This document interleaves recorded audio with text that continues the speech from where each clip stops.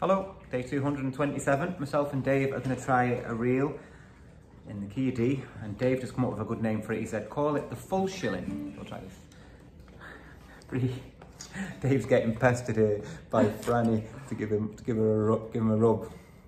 Franny, we're trying to do bloody music video. right. So yeah, the uh, the full shilling. Three, four.